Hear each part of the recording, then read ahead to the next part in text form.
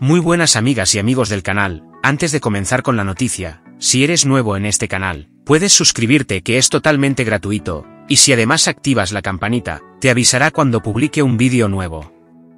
Ahora sí, vamos con la noticia.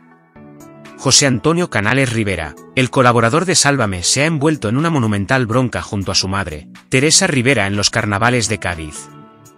Grave altercado protagonizado por José Antonio Canales Rivera en plena calle.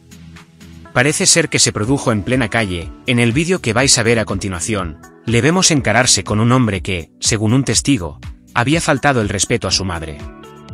La propia Teresa Rivera, presente en el momento, se interponía entre ellos y pedía a su hijo que se marcharan de allí. Siempre optó por evitar el enfrentamiento físico, o verbal tranquilizarme, y hasta ahora no me ha ido mal porque además tengo una parte fea que no me gusta ni a mí, dijo Canales Rivera unos días antes en el plató de Sálvame. En medio de los carnavales de Cádiz, ante su madre y otros miembros de su familia, José Antonio habría sacado ese lado suyo, protagonizando un grave altercado en un bar que acabó en plena calle. Veamos, en el siguiente vídeo, las imágenes del altercado. ¿Quién es el otro? Se pregunta una espectadora de este altercado en el que se ve envuelto José Antonio Canales Rivera. Los hechos suceden el pasado lunes en una céntrica calle de Cádiz. Son las 9 menos 10 de la noche. Canales, su hermano y su madre Teresa Rivera disfrutan del ambiente de los carnavales en un conocido bar de la zona.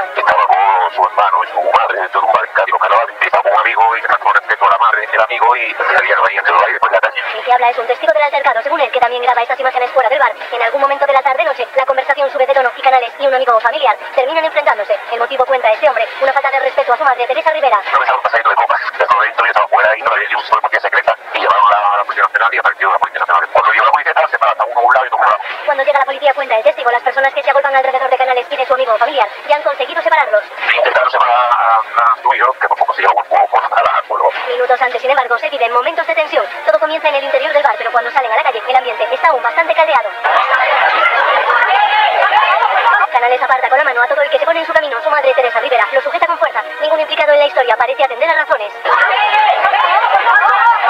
Un episodio que no se entiende bien, sin saber dónde, cómo y por qué empieza. Un altercado que nos cuenta a continuación y con todo detalle. Un testigo que lo presencia todo, de principio a fin.